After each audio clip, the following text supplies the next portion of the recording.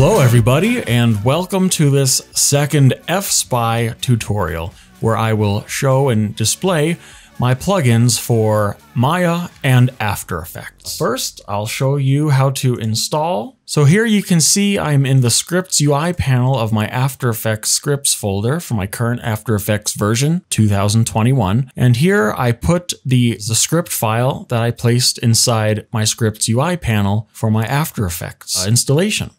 For Maya, take the fspy importer folder as well as the fspy importer.py file and you can drop them into your Maya plugins directory, which is on Windows, usually located in their documents folder. Now for After Effects, in order to load the plugin, you can go to Window, down here at the bottom, and you will be able to see the plugin right here. Clicking on it will bring out open uh, the plugin. For Maya, just as easy, you can go to your plugin manager, and you should see the fspy importer.py. You get a uh, fspy uh, menu up here. And open the fspy importer uh, right here, and it loads just like that. Okay, here on my desktop, I have a sample picture, and it's this picture, nice perspective picture. Uh, we get nice lines uh, in, in, every axis, and I can show you how the plugin works quite easily with a picture like this. All right, first things first. I'm in FSpy now, and I will drag my picture onto the open area. Now, previously, I mentioned how you can have this uh, focal length checked, but what we're gonna do is we're gonna do a bare bones setup here. Now, the axes that I'm gonna use are gonna be the X and the Z. What I could do is I can change this Y to be Z. And if I do a negative Z, you'll see that the Y axis is pointing up. But again, this can be completely customized to however you like. Now the first thing I'm gonna do is take the X axis, hold shift so that I could align it here to the X axis of that point. And again, do the same, holding shift so I can closely align it. Now for the Z axis, very easy setup. And it's good to be accurate, as accurate as you can. I'll do this X, and you'll see if I get very close, you can see I get a really good distance. And here, if I'm moving my center point across, you can see that it very much matches. So I know that I'm getting a good perspective and a good match here. So it looks like this is going to be my setup. And I'm going to save it on my desktop in a folder called fspy and I'll just call it test. It's a good thing to note that if you have something with a number in it, or so maybe something that starts with a number, a space, you know, some some strange characters like that, you shouldn't name your file like that because it's not going to work with the importer. Now I'm going to open up Maya and watch how easy this is going to be. You see here, it's FSpy. I can just double click on my FSpy and there it is. Perfect. It's a perfect match. It comes in absolutely perfect. Uh, if you go to the render settings, you can see here that the width and the dimension, the width and the height matches right here, the image width and the height from the FSpy project.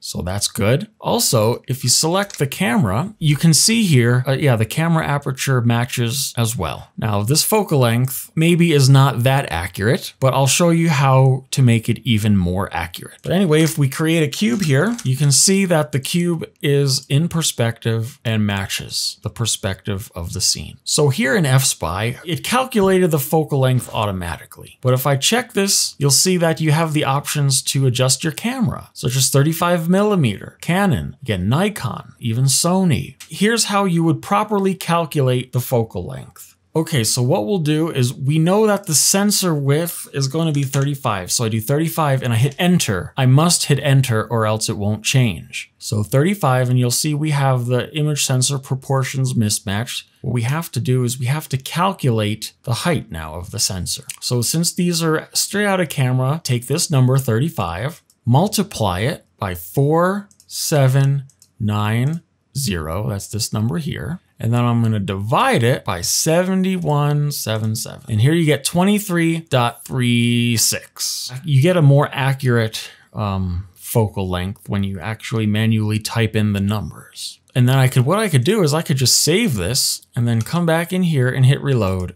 But because I changed the sensor width, I will have to re-import and that is okay. Now you'll see the camera focal length does match this value right here. And what we can do is we can open up After Effects and we can do the same thing. Just hit import And here our FSpy project. Double click it, and there we go.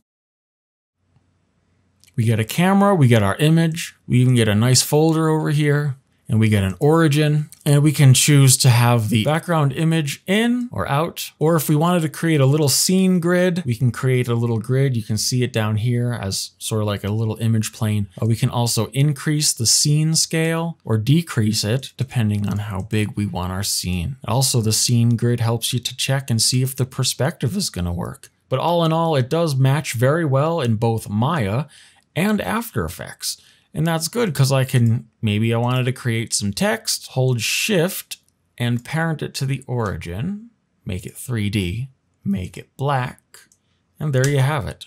All right, thank you very much for looking at the tutorial and having interest in my FSpy plugin. Uh, if you have any questions or need any help, please feel free to reach out and I will personally be of assistance and help you to get the plugin working if it's not working. It does work uh, with all of the newer versions of After Effects and Maya. I haven't tested it so much on any of the older versions, but I'm confident enough that it should work for everyone's needs. So thank you again, and I hope you enjoy F-Spy for After Effects and F-Spy for Maya.